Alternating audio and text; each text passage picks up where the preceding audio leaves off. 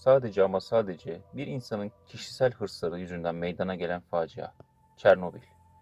Çernobil faciasının gerçekleştiği dönemde dünyaya gelen birçok çocuktan biri olduğumu söylemek istiyorum. Lakin Türkiye'de olmadığım için şanslı olduğumu da çok iyi biliyorum. Karadeniz'de kanser olaylarının bu kadar artmış olması dönemin siyasilerinin bu konuyu ötekileştirmesinden kaynaklandığını düşünüyorum. Konuyu çok ötelemeden anlatmaya devam edeyim. 26 Nisan 1986'da Ukrayna'da meydana gelen ve etkileri hala süren Çernobil faciasına sebep olan şeyin aslında Anatoly Dyatlov adında nükleer test mühendisinin kişisel hırsları olduğunu biliyor muydunuz?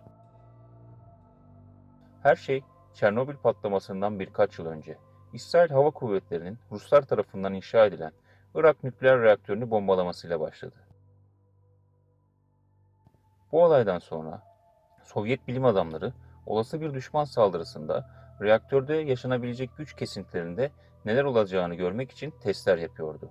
Fakat Anatoly Dyatlov testlerin nasıl yapılması gerektiğine dair üst düzey talimat tavsiyelerinin tamamını kasten yok saydı. Yönergeler testler başlarken reaktörün enerjisinin 700 ile 1000 megawatt olması gerektiğini söylüyordu. Fakat Dyatlov o gece Çernobil santralindeki 4. reaktörün testini soğutma sularını korumak amaçlı olarak 200 megawatt'a düşürmek istedi. Başkontrol mühendisi Leonid Topunov enerji 500 megawatt'a düşünce Dyatlov'u uyardı. Fakat 26 yaşındaki genç mühendis Dyatlov'dan sağlam bir azar işitti ve saat 00.43 itibariyle Topunov 4. reaktörün enerjisini istemeye istemeye 200 megawatt'a indirdi. Fakat 200 megawatt'a inen enerji 200'de sabit kalmadı ve önce 160'a daha sonra da 30'a ve son olarak 0 megawatt'a indi. Anatoly Dyatlov kendisine karşı gelen mühendisi itip kalktı. Derhal reaktördeki kontrol çubuklarının tamamını kaldırmasını istedi. Kontrol çubukları nükleer reaktörlerin gaz ve fren pedallarıdır. Reaktör kapağının 15 metre altında 1661 adet uranyum dolu yakıt çubuğu bulunur. Bunlar reaktörün çekirdeğine iner. Uranyum atomlarının parçalanması yakıt çubuklarından suyu buhara çeviren muazzam bir ısı çıkarır. Buhar devasa tribünü döndürür ve bu da elektrik üretir. Bu enerjiyi kontrol etmek için 211 bor kontrollü çubuk reaktör çekirdeği boyunca yayılır. Yükseltilirlerse enerji ivmelenir. Hep birlikte çıkartılırlarsa mühendisler ve kontrol odası frenleme yeteneğini tamamen kaybeder.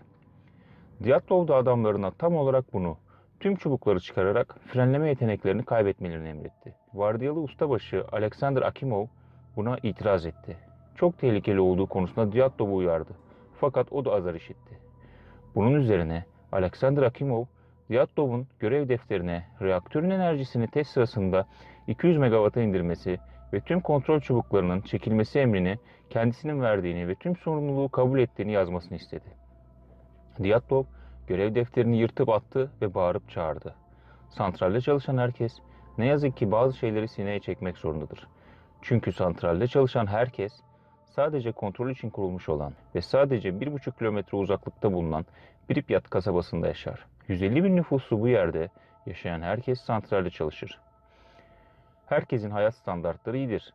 Bu yüzden kimse işini kaybetmek istemez. Çünkü işini kaybetmek, Pripyat'taki lüks tarihi ve hayatı kaybetmek bir başka yere, muhtemelen Sibirya'nın ücra köşelerine gitmek anlamına gelir.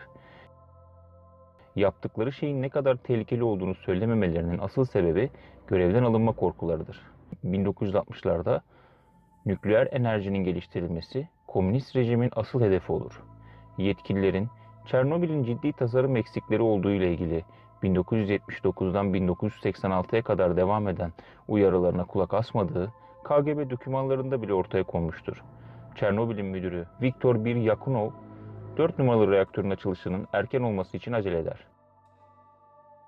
Böylece partinin patronu ve kendileri önemli ödüller kazanacaktır. Güvenlik ikinci plandadır. Bu yüzden reaktör inşaatının teslimini hızlandırmak için ellerinden geleni yapar. Örneğin reaktörün çatısının yanmaz materyalle inşa edilmesi gerekirken çatıda gösterişli ama normal bir fabrikanın çatısında kullanılan malzemeler kullanılır.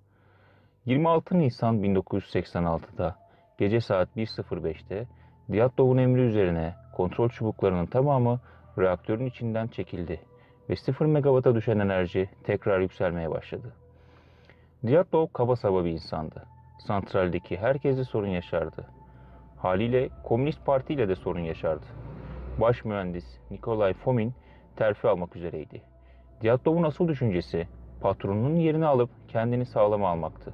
Aslında her şey bu testi başarılı bir şekilde atlatmasına bağlıydı. Fakat onu asıl hırslandıran şey nükleer enerjiye olan kini kişisel meselesiydi. Diatlov 1960'larda Sibirya'da çalışır ve denizaltılara nükleer reaktörler yerleştirir. Bu çalışmaları sırasında Diatlov'un hatası yüzünden nükleer bir kaza yaşanır ve Diatlov 3 ömürlük radyasyon olan 200 reme maruz kalır. Bu kazadan kısa bir süre sonra oğlu radyasyona maruz kalan çocukların en genel hastalığı olan lösemiden dolayı ölür. Bu trajedi onu inanılmaz hırslı bir insan haline getirir. Saatler 1.23'ü gösterdiğinde Diatlov teste başlama emrini verir. Test tribünün enerjisini kesecek, yedek dizel jeneratörler devreye girmeden önce 40 saniyelik bir kesinti olacaktı. Buradaki soru şu, 40 saniyelik süre boyunca su pompaları reaktörü su vermeyecek ama tribünün enerjisi kesilir kesilmez de tribün durmayacak. Yavaşlayıp sıfır hıza ulaşması en az 20 saniye alacaktı. İşte o zaman diliminde reaktör boş bir çaydanlık gibi olacaktı. Diatlov'a göre bu risk tümüyle teorik ve tribünün enerjisi kesilir, reaktöre çok az su gider ama inanılmaz bir ısı oluşur. Kontrol odasındaki göstergelerde 200 megawatt olan enerji hızla artmaya başlar.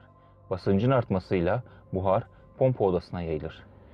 Reaktörün üzerindeki kapak deprem olmuş gibi sallanmaya başlar. Ustabaşı Alexander Akimov tam o sırada az 5 butonuna basar. Az 5 butonu acil durumda enerjiyi düşürmek için reaktörün içinde bor kontrol çubuklarını indirir. Ancak ucu grafitle kaplı bor çubukları enerjiyi düşürmek yerine daha çok arttırır. Güç yüzlerce defa azaltılmaya çalışılır ama fayda vermez. 500 tonluk kapak patlar ve havayı altına çeker. Reaktör patlama sonucu atmosfere 50 ton nükleer yakıt gönderir. Bu Hiroşima'nın 10 katıdır. Bölgenin etrafına 700 tonluk radyoaktif grafit yayılır. Toz bulutları kontrol odasına tuhaf bir kokuyla birlikte çekilir. Çekirdekten açığa çıkan gazlar fırtınadan sonraki ozon gibi metalik bir tat bırakır. Toz radyasyondur aslında. Radyoaktivite Belarus'tan Avrupa'ya doğru yayılır. Ertesi gün Pripyat'taki yoldaşların hepsinden şehri boşaltmaları istenir. 135 bin kişi bir hafta gibi bir sürede nakledilir. Radyasyon o kadar yüksek seviyelerdedir ki çekilen fotoğraflarda görülür. Bu facia sembolik açıdan Sovyetler Birliği'nin sonunu getirir. Alexander Akimov patlamadan 15 gün sonra radyasyon zehirlenmesinden öldü. Konuşabildiği sürece ben her şeyi doğru yaptım dedi. Leonid Topunov Akimov'dan 3 gün sonra öldü. O da elinden gelen her şeyi yaptığını söyledi. Leonid Topunov Akimov'dan 3 gün sonra öldü. O da ölene kadar elinden gelen her şeyi yaptığını söyledi. Patlama sırasında evinde uyan baş mühendis Nikolov Fomin 10 yıl hapse mahkum edildi. Fakat zihinsel çöküntü nedeniyle kısa bir süre sonra salıverildi. Olayın baş kahramanı ve en büyük sorumlusu Anatoly Dyatlov 5 ömür değerinde 390 rem radyasyona maruz kaldı. Ama bu onu öldürmedi. 1995'te geçirdiği kalp krizine kadar yaşadı. 10 yıllık bu sürenin 4 yılını hapiste geçirdi. Ölmeden önce yaptığı röportajda bunun kendisiyle reaktör arasında yaşanan bir savaş olduğunu belirtti. Ne yazıktır ki bu savaşı reaktör kazandı ve milyonlarca insan bu savaşta hükmen yenik sayıldı.